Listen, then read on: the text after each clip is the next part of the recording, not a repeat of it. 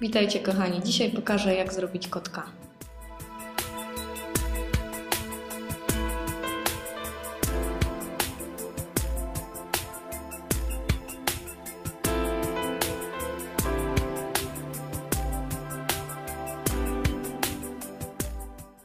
Masę wałkujemy na pół centymetra.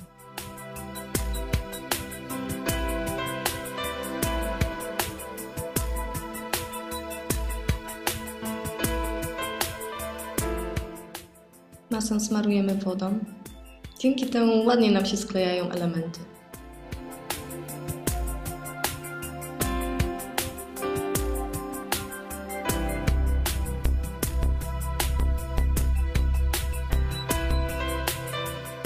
Ze spinacza robimy zawieszkę.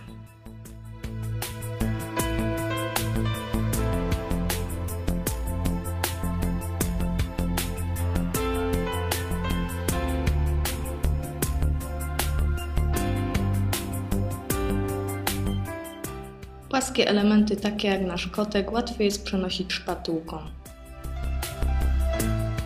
Kotka suszymy w piekarniku w 100 stopniach przez około godzinę. Do malowania wykorzystuję farbę akrylową.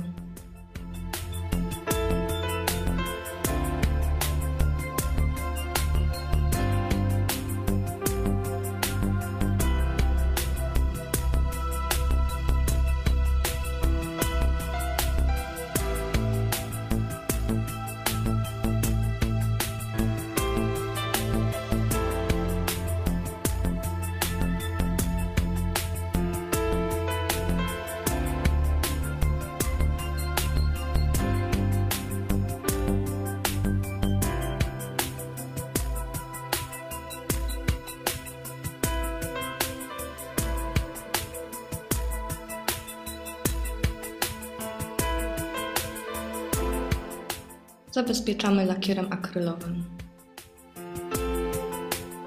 Wąsy robimy ze sznurka i przyklejamy klejem na ciepło.